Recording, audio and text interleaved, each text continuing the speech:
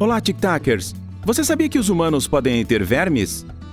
É o que popularmente chamamos de infecção do intestino causada por um verme chamado Enterobius vermiculares. Esses vermes também são chamados de pinworms, razão pela qual a condição também é conhecida pelo nome de oxiuríase. As lombrigas são vermes pequenos, delgados, arredondados e esbranquiçados. É uma infecção relativamente comum em todo o mundo, afetando pessoas de todas as idades e níveis socioeconômicos. Embora seja mais comum em crianças em idade escolar, os vermes são transmitidos de pessoas para pessoas, geralmente comendo alimentos que estiveram em contato com as mãos ou objetos contaminados com os ovos do parasita. Diz que os ovos também podem ser inalados pelo ar, embora isso seja muito mais raro. Ao atingir o intestino delgado, os ovos eclodem e as larvas continuam a progredir e amadurecer a caminho do intestino grosso. Lá eles se transformam em vermes adultos. As fêmeas fertilizadas vão em direção ao ânus, onde depositam seus ovos. Costumam fazê-lo à noite, enquanto a pessoa dorme. Eles grudam na pele causando irritação e coceira intensa. Ao coçar por causa da coceira, os ovos passam para as unhas, o que facilita a reinfecção da mesma pessoa e a transmissão para outras.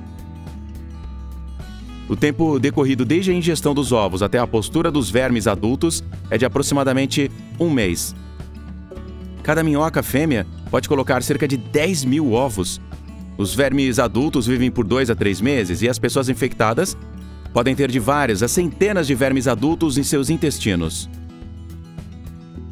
E quais são seus sintomas? Embora às vezes não produza nenhum sintoma, o mais frequente é coceira na região anal, infecção na vagina e, em casos de grande número de vermes, dor abdominal e também náuseas. A olho nu, podemos ver pequenos vermes brancos que se movem ao redor do ânus ou nas fezes. Mas não se assuste, o tratamento é simples.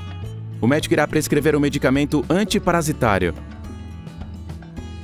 Além disso, é aconselhável trocar roupas íntimas, toalhas e roupas de cama com frequência, lavar muito as mãos, insistindo nas áreas das unhas.